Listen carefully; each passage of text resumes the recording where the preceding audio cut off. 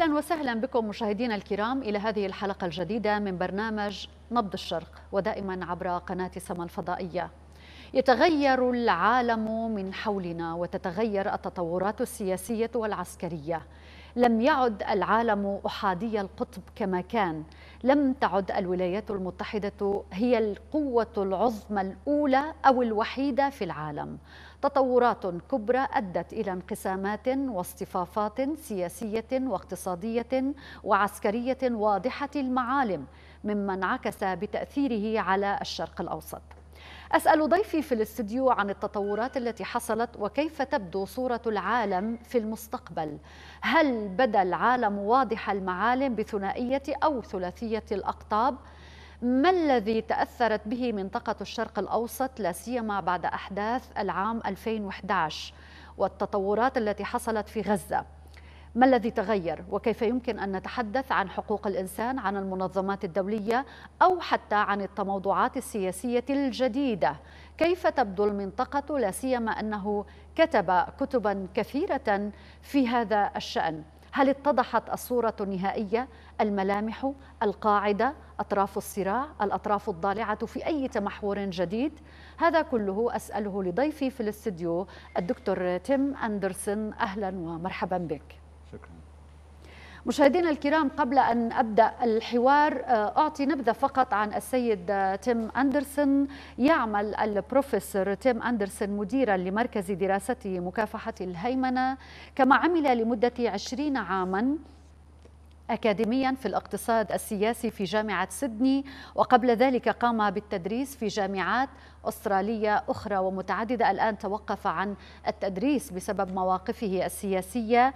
ينشر الكاتب أبحاثا ومقالات عدة عن التنمية عن حقوق الشعوب في تقرير المصير في كل من أمريكا اللاتينية ومنطقة آسيا والمحيط الهادئ والشرق الأوسط.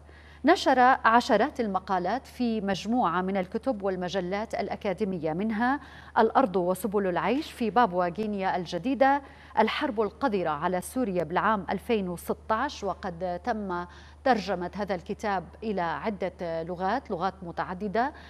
أخذ هذا الكتاب حيزا واسعا في العالم العربي والعالم.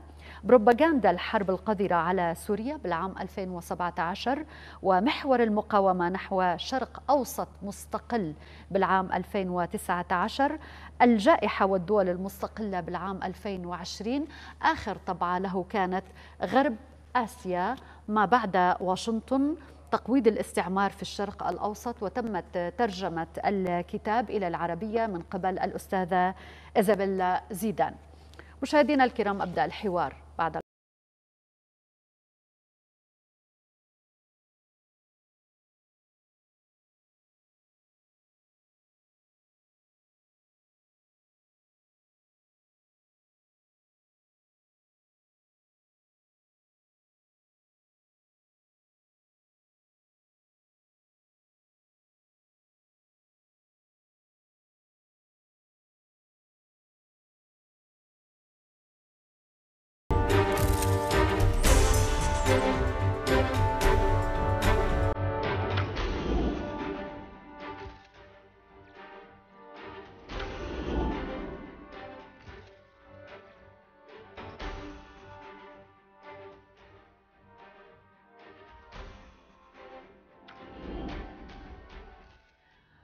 دكتور تيم أندرسون الآن نتحدث وبعد كل هذه المتابعة من قبلك حول التطورات السياسية في العالم حول التطورات في الشرق الأوسط ما الذي يمكن الآن أن نتحدث عنه في منطقة الشرق الأوسط هل بات أكثر فوضى؟ هل بات أكثر استقرارا؟ هل بات أكثر تموضعا بالاصطفافات السياسية من وجهة نظرك؟ The region has been going through changes, of course. هناك الكثير من التغييرات التغييرات التي تحدث حول العالم ليس فقط في منطقة الشرق الأوسط ولكن في العالم أجمع. وطبعا هذا الموضوع وهذه التغييرات تؤثر على الجانب الاقتصادي. وسوريا هي أحد الدول التي ستكون في بموضع التأثر بهذه التغييرات التي تحدث. ولذلك على سوريا كدولة موجودة في المنطقة وكجزء من محور المقاومة أن تضع نفسها في مكان أن يكون لها مكان. أو نقطة تواجد فيها في ظل هذه التغييرات التي تحدث. طبعا فيما يتعلق بالصراع الحادث أو الذي يحدث حاليا في غزة فذلك طبعا يؤثر على آه، المنطقة آه، ككل. وكما قلت فإن سوريا أحد الدول التي ستكون أو سوف تتأثر بهذا الصراع. ولكن ما يهم الآن أن في فلسطين هناك نظام نظام الفصل العنصري في إسرائيل سوف ينهار وسوف تلجأ الدول الغربية إلى تأسيس نظام بديل جديد بدلا عنه.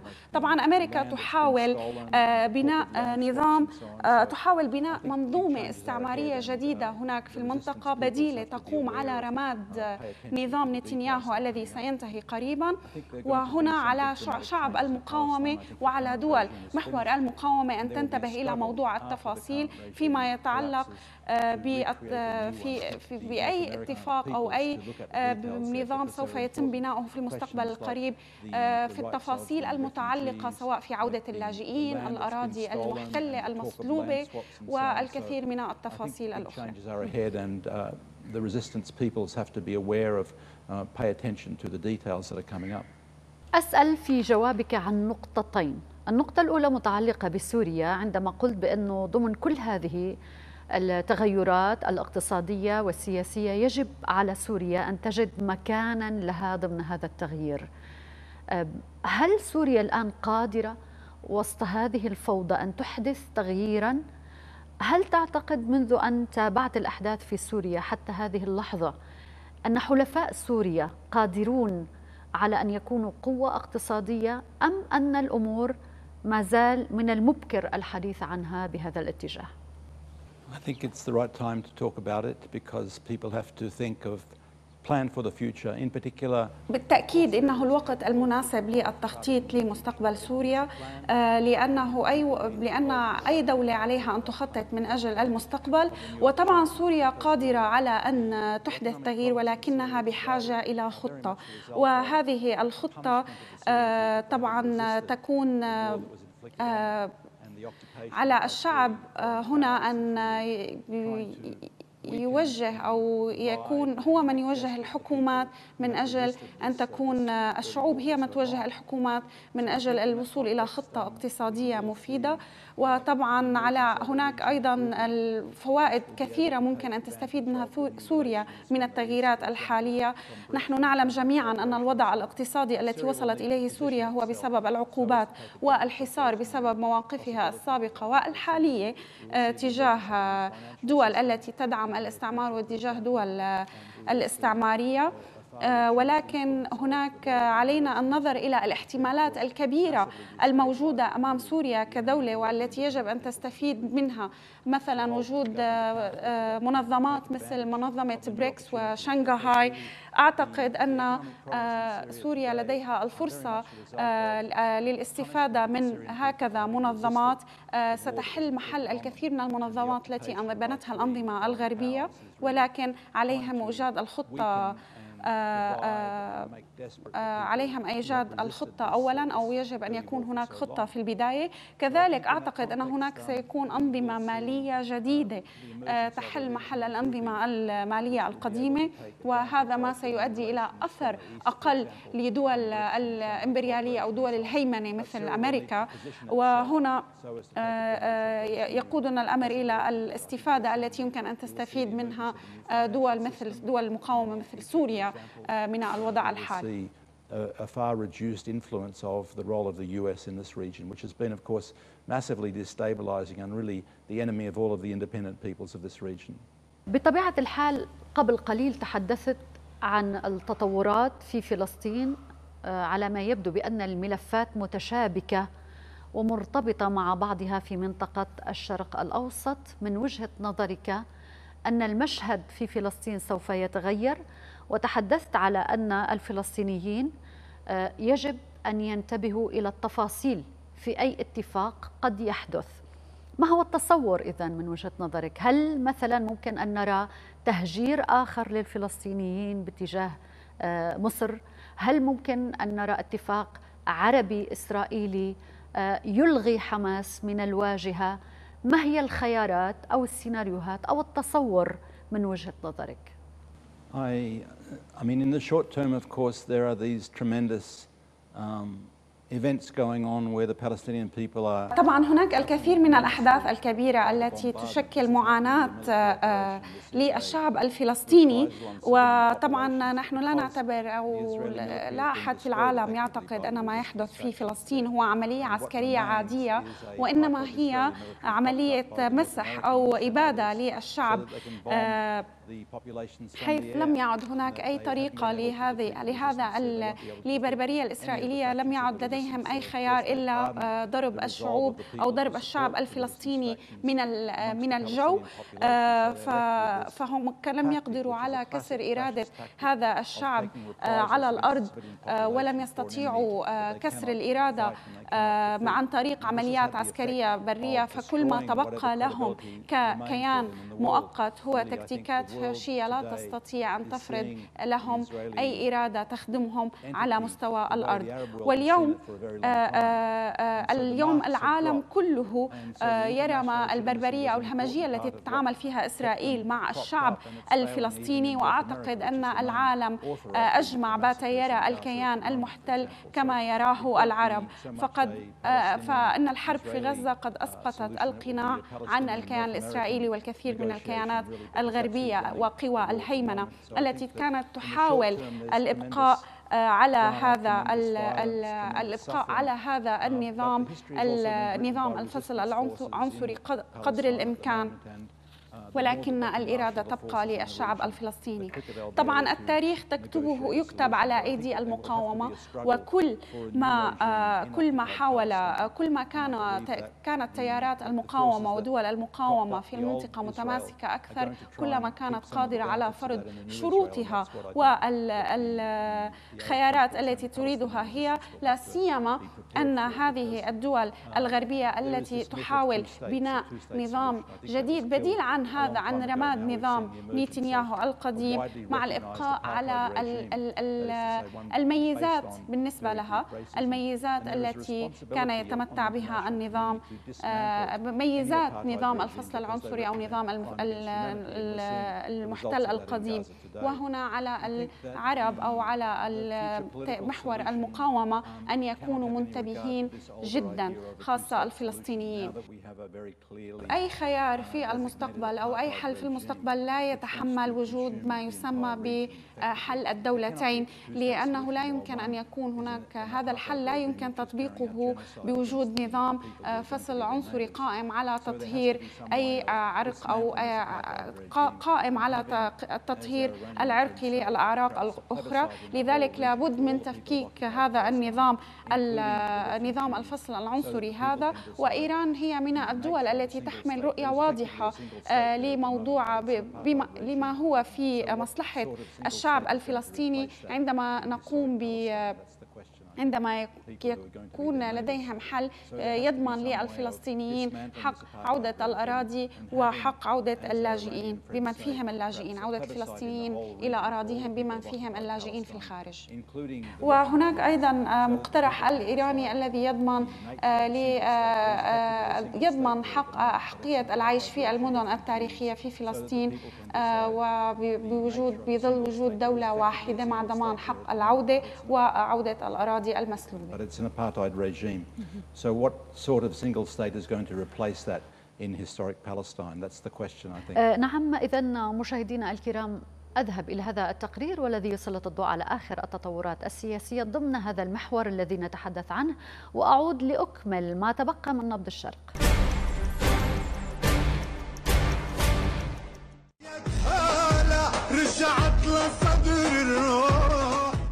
تتجه الأنظار الآن نحو الساعة الأخيرة من هدنة حرب غزة بعد مضي الأيام الأربعة المتفق عليها بين المقاومة الفلسطينية وإسرائيل. اتفاق تضمن تبادلا للأسرى على مراحل بين المقاومة وسلطات الاحتلال مع السماح بدخول القوافل الإنسانية والمساعدات الإغاثية إلى قطاع غزة. اليوم بات الأمر لا يتطلب أكثر من مشاهد سريعة على الساحة الإعلامية والسياسية داخل العمق الإسرائيلي حتى تتجلى بوادر العجز الذي ظهرت بقوة في صفوف الاحتلال. فالتحليلات الإسرائيلية راحت تكشف الإخفاقات المعنوية والعسكرية والاقتصادية لإسرائيل وما معها من فشل في تحقيق أهدافها. بنيامين نتنياهو هو الآخر خسر وتشوهت صورة حكومته عقب ما ظهر للعلن أمام المجتمع الدولي وبالذات الغربي منه. الولايات المتحدة الأمريكية على الرغم من إرسالها للبوارج والطائرات المحملة بالذخائر المدمرة والمحرمة دوليا كالفوسفورية والفراغية وقنابل الشظايا بدورها تعالت أصواتها في نقد السياسات الإسرائيلية. وحسب الخبراء الأمريكيين لا يمكن لبايدن الذي أغرق إدارته بأوكرانيا وتايوان والشرق الأوسط وكوريا الجنوبية وصولا إلى أفريقيا أن يلقي بها كلها على طرف الطريق وأن يعمل فقط على حماية إسرائيل. وسط كل هذا بات من الواضح حاليا بأن العالم انقسم إلى نصفين من هذه الحرب ولكن لم تتضح معالم هذا الانقسام بعد.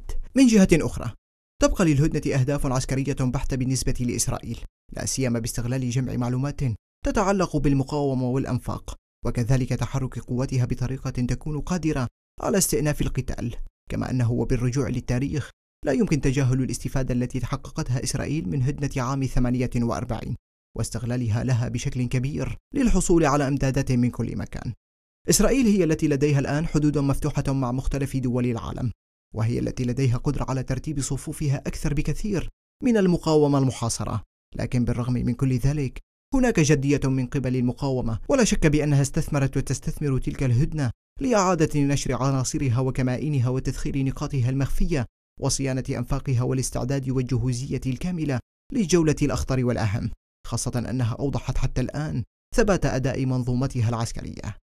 ومع كل هذا. تبقى الأيام القادمة هي من يكشف ما إذا كانت هذه الهدنة هدنة النهاية أم هدنة لالتقاط الأنفاس. أعود لدكتور تيم أندرسون في كتابك غرب آسيا ما بعد واشنطن تقويض الاستعمار في الشرق الأوسط في فصل من هذا الكتاب تحدثت به عن التراجع الاستراتيجي لواشنطن. في المنطقة لكن ربما يقول لك البعض دكتور بأن واشنطن لم تتراجع بالعكس باتت قوة عسكرية وسياسية واقتصادية أكبر. الآن لها قواعد عسكرية في المنطقة أكثر لها معدات وتجهيزات في البحر المتوسط. إذا الولايات المتحدة تمكن نفسها أكثر لوجستيا وعسكريا في المنطقة ولم تتراجع. They are still here, but uh, they are weaker than they were before. Um, it's not طبعا الأمريكيين ما زالوا هنا ولكنهم آه، أصبحوا قوة ضعيفة. لا أعتقد أنه هو آه، لا أعتقد أن قصف المدنيين من الجو أو وجود أي بارجات عسكرية في بحر غزة. والتشجيع على قصف المدنيين من الجو هو قوة عسكرية. طبعا هم يحاول هم موجودين في العراق. ما زال هناك بعض القواعد العسكرية الموجودة في العراق وسوريا وهم يحاولون آه، بهذه القواعد إضعاف كلا الدولتين. طبعا لم يتراجعوا كثيرا من اليمن. آه، تراجعوا في مرحلة ما بسوريا ولكن التراجع الأكبر الذي يجب أن ننتبه له وهو تراجعهم من أفغانستان. الأمر الذي يعطي رسالة واضحة آه، لكل من يفكر أو لكل المتعاونين والمتآمرين مع الأمريكان سواء على بلدانهم أو بلدان أخرى بأن أمريكا ليست وفية لأصدقائها. وهذا يوجه رسالة قاسية وقوية للموجودين في لقسد أو ما يسمى بمجموعة قسد في شمال سوريا والذين ما زالوا إلى اليوم يؤمنون بأمريكا ويظنون أن أمريكا ستكون هذه الصديقة الوفية لهم. عليهم فقط أو هم نظروا أو رأوا كيف أمريكا تخلت عن أصدقائها أو من كانوا يتعاونون معها في أفغانستان في مطار كابول وهم يتناثرون من الطائرات التي كانت تحلق من هناك. طبعا وكلنا نعلم أن كان أن الهدف آه، آه، من وجود أمريكا في أفغانستان كل هذه الفترة هو تقويض أو خلق مثل ما يسمى بحاجز بين الصين ومنطقة غرب غرب آسيا ولكن طبعا هم فشلوا بذلك و خرجوا من أفغانستان واليوم الصين يتنامى الدور الصيني وتصبح أكثر تظهر كقوة اقتصادية أقوى من, من أي وقت سبق. طبعا كذلك موضوع الحرب في أوكرانيا التي كلفتهم الكثير من سمعتهم وستكلفهم أكثر من أكثر عندما يخسرون هذه الحرب ويخسرون معها سمعتهم وعندما تتفوق روسيا في تلك الحرب كدولة مدافعة عن كدولة مدافعة عن أرضها وشعبها في جنوب شرق روسيا. فإن مسألة ضعف أمريكا هي مسألة وقت ليس أكثر. الأمريكان يضعف يحاولون حماية هذه المستعمرة الأخيرة الباقية في الشرق الأوسط في فلسطين. المشكلة أنهم سيحاولون إحيائها بإنشاء مستعمرة جديدة بأنظمة جديدة بأنظمة بنظام أو بصفات تناسبهم وتحافظ على صفات الكيان القديم. وهنا علينا أن نكون منتبهين جدا. ولكن الدور الأمريكي في المنطقة إلى ضعف إلى ضعف إلى نهايته. علينا فقط أن نعلم أن هذا الدور سينتهي. كل ما علينا أن نعرفه هو متى سينتهي وتحت أي ضغوط. That they will withdraw from Syria and Iraq. The question is when and under what pressure and at what time. لكن بروفيسور أندرسون تتحدث عن أن روسيا ستنتصر هذا الموضوع يعني متعدد الأوجه في عدة سيناريوهات لهذا التصور البعض يرى بأن روسيا قد سقطت في مستنقع ونجحت الولايات المتحدة بأن تستنزف الاتحاد الروسي في حرب طويلة غير معروفة النهايات ما أدى إلى تراجع التأثير الروسي في المنطقة. هذا أولا. ثانيا لن يتغير العالم ويصبح متعدد الأقطاب أو ثنائي الأقطاب ما لم نرى نتيجة الحرب الروسية الأوكرانية. إذا نحن لم نرى النهايات بعد. لم تحسم هذه الحرب ولا نعلم أين تذهب الأمور. أوكرانيا فاجأت العالم الدعم الأمريكي فاجأ العالم. الموضوع بات موضوع استنزاف لا أكثر. That the, the, the North Americans considered that they were winning by um, fighting a war against Russia with أنا أوافقك الرأي بأن أمريكا قد تمكنت من تطويل أمد الحرب. ولكن الفوز ضد روسيا لا يكون أو أو دعيني دعيني اشرحها بطريقة أخرى. لا يمكن الفوز ضد روسيا باستخدام شعوب أخرى أو باستخدام الآخرين. تماما كما استخدمت حروب الوكالة ضد ضد أعداء في مناطق أخرى تماما هي تستخدم الأوكرانيين كما تماما كما استخدمت داعش وكما استخدمت النصرة. أعتقد أن روسيا قد حققت الهدف الرئيسي من هذه العملية العسكرية وهو الدفاع عن الروس في منطقة جنوب شرق روسيا. وهذا ما هو كان مطلوب. طبعا الأوروبيين حاولوا تطويل أمد الحرب في في هناك. والأمر الذي كلف أوكرانيا الآلاف مئات الآلاف من حياة الأوكرانيين. وكلنا شهدنا محادثات السلام التي حاول التي دخلت أو حاولت كييف التجاوب معها في شهر نيسان الماضي إلا أن أمريكا وبريطانيا منعت ومنعت كييف من الاستمرار في محادثات السلام لأنها تريد الاستمرار في الاستفادة من دعم الدعم الذي تتلقاه الكثير. أو الدعم المالي آه، الذي تتلقاه الكثير من شركات الأسلحة الموجودة في أمريكا من قبل آه، بعض الدول الموجودة في غرب أوروبا على حساب الأوروبيين. هم يريدون استنزاف الأوروبا على من أجل آه، زيادة الدعم الشركات الأجنبية أو الشركات الأمريكية للأسلحة. They're near the end of their capacity there. They really have, they don't have the human capacity to carry this war on much longer. نعم وهذا تقرير آخر من فضلك بروفيسور نسلط الضوء فيه على ما الذي جرى أيضا في المنطقة وكيف تتعامل الولايات المتحدة مع الأحداث في منطقة الشرق الأوسط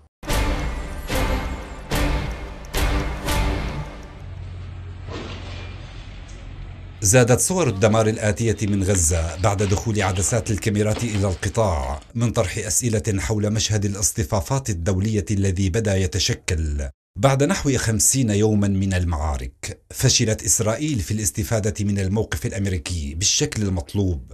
أو بالأحرى فطنت الولايات المتحدة بأن جرها من قبل إسرائيل. سينسف الخارطة السياسية التي تحاول الولايات المتحدة رسمها في المنطقة. موقف آخر على المستوى البنيوي فالخلاف الغربي الغربي أطل من مواقف أكبر قادة الاتحاد الأوروبي وكان واضحا عنوان صحيفة لارازون الإسبانية حين سلطت الضوء على الانتقاد الألماني الحاد بوجه رئيس حكومة إسبانيا بيدرو سانشيس نتيجة تعاطفه مع فلسطين. وربما يعبر كلام جوزيف بوريل مسؤول السياسة الخارجية في الاتحاد الأوروبي بأن المقاومة الفلسطينية ليست مجرد مجموعة أفراد وإنما فكرة لا يمكن قتلها. وأشار إلى أن العالم سيواجه ما وصفها بموجات تطرف وعنف غير مسبوق إذا لم يتم وقف الحرب في غزة.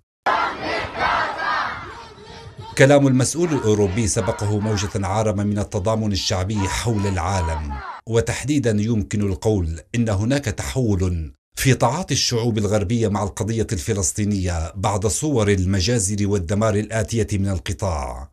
موقف شعبي يرى البعض بأنه سبق الموقف الصيني والروسي حول مستقبل قيادة العالم أو إنهاء القطبية الأحادية الأمريكية. ويحمل بكين وموسكو كقوتين عالميتين مسؤولية أخرى في فتح السياسات الأمريكية ودعمها في قتل الشعب الفلسطيني على الدوام. القسم الأخير من نبض الشرق دكتور تيم أندرسون معي في الاستديو لأسأل حول بعض من كتاباته حول التغيير الديموغرافي في منطقة الشرق الأوسط لا سيما كما آه، تكتب كما ترى. ربما آخرون لا يوافقونك الرأي بهذه النقطة لا أدري ما هي الحقيقة لكن محاولة التطهير المسيحي وتهجير المسيحيين من منطقة الشرق الأوسط أعود قليلا إلى الوراء بإبان اندلاع الأحداث في سوريا. تم تخصيص مبعوث أمريكي خاص سمي بمبعوث الأقليات إلى المنطقة. اليوم إن كان هذا المشروع مشروعا ترى فيه آه، آه، مشروعا أمريكيا أين وصل؟ هل حقق جزءا من أهدافه؟ With respect to the Christians, they certainly did it not just in Syria but in Iraq and Palestine also. آه، طبعا إن uh, محاولة التغيير الديموغرافي لم ليست جديده في المنطقة أو منطقة الشرق الأوسط. آه، ومع الاحترام للمسيحيين الموجودين في سوريا لكن هذا المشروع لم يستهدفهم لوحدهم فقط وإنما استهدف أيضا المسيحيين الموجودين في العراق وفلسطين. ولطالما اشتكت هذه الكنائس الموجودة ودور العبادة المسيحية الموجودة في تلك المناطق مناطق من هذا التهجير وهذا الترحيل للأقلية آه، المسيحية دون أن يوجهوا أي إصبع اتهام للمسبب الرئيسي في عمليات التهجير هذا. آه، وهنا جدير بالذكر أن هناك الأب الياس زحلاوي أحد رجال الدين المسيحيين الذي أشار ووجه إصبع الاتهام لهذا السكوت الذي يحدث في العالم ولماذا لا يوجد أي إدانة لهذا الترحيل أو هذا التهجير القسري الذي يتعرض له المسيحيين الذين وجدوا موجودين على هذه الأرض منذ مئات مئات السنين. كأقلية وكأصحاب لهذه الأرض منذ آه، زمن طويل. Um, آه، طبعا تم استخدام آه، آه، الترحيل لم يبدأ فقط في الحرب في فترة الحرب على سوريا. ففي العراق منذ احتلال العراق عام 2003 كان هناك استخدام لمحاوله لتقسيم المنطقة هناك وترحيل الأقليات المسيحية بهدف تحقيق أهداف سياسية وكذلك بعد الحرب على سوريا تم استخدام بعض الفصائل المسلحة سواء كردية أو كداعش. طبعا داعش التي هي صناعة أمريكية من أجل إخراج أكبر عدد ممكن من المسيحيين في شمال شرق سوريا. وقصد التي كانت قصد التي كانت أو ما يسمى بتفاصيل قصد الذي كان يدعي أنه هناك موجود هناك لإخراج داعش كذلك قام كانوا السبب أو حاولوا تهجير الكثير من المسيحيين في شمال الشرق السوري ووثقت ذلك في كتابي حيث أن هناك كان مشروع لتهجير الكثير من منطقة القامشلي في من أستراليا. عفوا. الكثير من المسيحيين الموجودين في مدينة القامشلي إلى أستراليا حيث كنا نحن نعلم كمواطنين أستراليين سياسة الحكومة هناك في أستراليا وسياسة رئيس مجلس الوزراء. هناك في أن أغلب المهاجرين أو اللاجئين الذين سيتم استقبالهم من المنطقة 80% منهم يشترط أن يكونوا من الشمال الشرق السوري من الطائفة أو من الأقلية المسيحية. حيث في بعض القرى التي تتواجد أو كانت قصد فصيل ما يسمى بقصد متواجدة فيها. طبعا نجحوا إلى لتهجير عدد لا بأس به حوالي العشرة آلاف من المسيحيين. لكن ما زال هناك مجتمع آه، آه، كبير مسيحي موجود في المنطقة لا بأس به وكذلك في فلسطين يحدث ذلك آه، التهجير منذ وقت طويل. فمنذ بداية الاحتلال الإسرائيلي كذلك إن هذه المستعمرة المدعومة أمريكيا نجحت في تقليل عدد المسيحيين الموجودين في فلسطين وهنا أحمل المسؤولية لأمريكا التي استخدمت إسرائيل كوسيلة لتهجير المسيحيين من أرض فلسطين التي هي تعد مهد السيد المسيح. كذلك آه، حاولوا آه، كذلك آه، حدث أيضا ذلك خلال فترة حكم ترامب الذي حاول تقسيم العراق حتى حكم حتى الفترة الحالية تمكنوا من تقسيمها إلى من تقسيم العراق إلى فدرالية. وبعض آه، المناطق الحكم اللامركزي الأمر الذي ساهم أيضا في تهجير أو تقويض الوجود المسيحي هناك. ناهيك عن ذكر أن هناك كان مشروع بالإضافة إلى الإسرائيليين والعصابات المدعومة. آه، في العصابات المدعومة سواء الكردية أو داعش. آه، كان هناك أيضا محاولة تركية لتهجير أو شاركت كان لتركيا أذرعا. في هذا التهجير طبعا تركيا كانت مشاركتها أيضا في المساهمة بإنشاء ما يسمى بحزام فصل بين الأكثريات والأقليات في سوريا ممتد من الحسكة إلى درعا. وبذلك يتم فصل المناطق الأقلية عن الأكثرية. لكن هذه العملية تم إفشالها وإحباطها عندما بدأت عملية طوفان الأقصى عملية المقاومة في السابع من تشرين الأول. سؤالي قبل الأخير متعلق بكيف يرى البروفيسور تيم أندرسون المستقبل غدا لأبناء المنطقة؟ وفق كل ما تم ذكره في هذا الحوار من تحليلات ورؤى. ما الذي ينتظره شعوب المنطقة في سوريا في فلسطين؟ في الإقليم بشكل عام ضمن كل هذه التموضعات السياسية الجديدة المتغيرات الميدانية على الأرض ما الذي يمكن أن يروه في المستقبل القريب؟ Well, I think that the future of this region has to be constructed by the people of this region um, independently. طبعا أعتقد أن المستقبل مستقبل الشعوب أو المستقبل في المنطقة يجب أن يكون قائم على الشعوب المستقلة ودائما ستحاول الدول الغربية التدخل لإعاقة هذا الاستقلال الذي تسعى إليه. آه، طبعا هذا الاستقلال لن يحدث دون عملية توحد واندماج في بين دول المنطقة وخاصة بين محو دول محور المقاومة آه، حيث لا يمكن مجابهة أي تدخل لوحدنا. وفي مناطق أخرى من العالم رأينا أن آه، كيف أن بعض الدول المستقلة لم تستطع مجابهة التدخل الدول الغربية فيها طبعا دون آه، تحقيق الوحدة فيما بينها.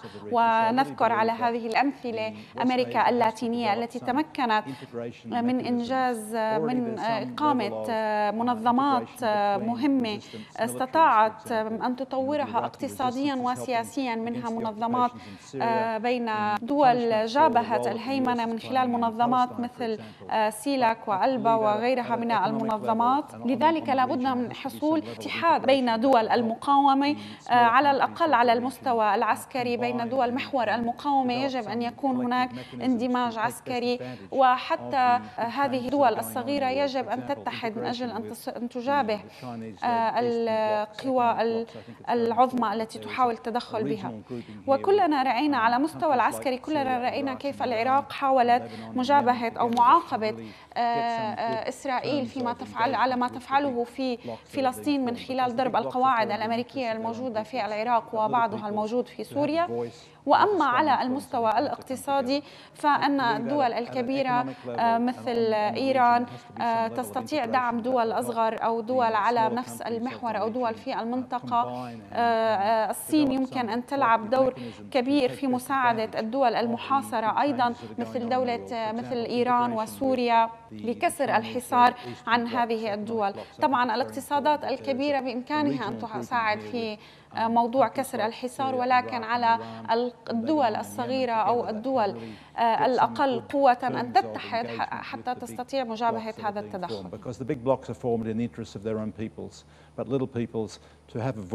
to have a strong influence, I think they have to come together. سؤالي الأخير بروفيسور درس في جامعات أسترالية ألف عدة كتب مطلع على الأحداث السياسية في المنطقة والعالم لماذا يضع آه، شعار آه، الجنرال قاسم سليماني ويظهر به أمام شاشة التلفزيون؟ Because uh, Soleimani represents to me the hope of this region, the future of the region.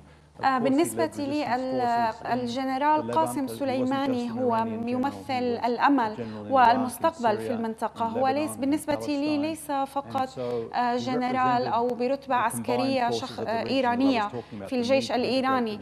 هو شخص كان قادر على جمع توحيد قوى محور المقاومة سواء في العراق وسوريا وفلسطين وليبيا لأنه كان يمثل فكر موحد انتشر بين قوى المقاومة في المنطقة. آه، وحد قوى المقاومة على آه، فكر آه، مجابه للغرب. وهو يمثل آه، آه، بالنسبة آه، بالنسبة لمنطقة مثل غرب آسيا جنرال قاسم سليماني يمثل ما هو مستقبل المقاومة وعلى هذا الإرث الذي تركه لمحور المقاومة وللقوى المقاتلة هناك أن يعيش. وطبعا إذا ما نظرنا على منصات التواصل الاجتماعي التي تعنونه أو تعنون صوره أو تعتبر صورة كصور خطرة أو دعونا نقول هي صور آه، تعادي المعايير الاجتماعية. وأنا بالنسبة لي أعتقد أنهم يرون الجنرال سليماني خطر وهو ميت أو خطورته تكمن أكبر من خطورته لما آه، كان حي. فعندما كنا نتحدث عن التوحيد العسكري أو الوحدة العسكرية بين قوى فصائل المقاومة. كان الجنرال سليماني خير من يمثل هذه القوى. For the future of this region. في ختام هذه الحلقة أود شكرك لوجودك معنا باستديو نبض الشرق بروفيسور تيم أندرسون. شكرا جزيلا. مشاهدينا الكرام هذه تحية مني ومن فريق العمل وأشكر أيضا من كانت معنا في الترجمة السيدة إيزابيلا زيدان. هذه تحية إلى اللقاء.